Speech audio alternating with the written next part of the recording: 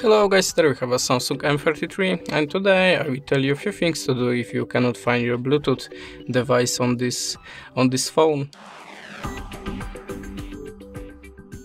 So in the first way, just check your Bluetooth connection by opening the connection section in the in the option and check the Bluetooth. If, it's, if it is enabled, just reset the connection. Now check your device uh, list again by clicking here and scan again. If you still don't have your device here, just go to the advanced settings and check the block list, blacklist of, of Bluetooth device. Uh, okay, the next way is just uh, reset your phone and reset your Bluetooth accessory. You can restart it here.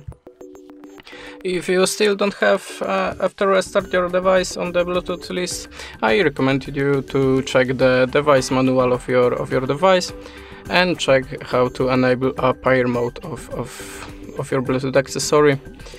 Uh, you have to be sure that the device is visible for your phone.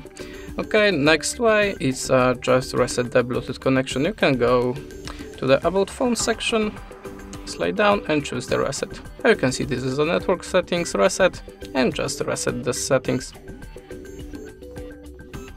Oh, sorry for that. You can see network settings has been resetted. Uh, the last thing is uh, just check that your system have any uh, updates. If you have any updates available, just update your system. Uh, and the last recommendation, I just check the phone and the uh, Bluetooth device on the other other device Bluetooth to check that is a problem with your phone or maybe with your Bluetooth accessory.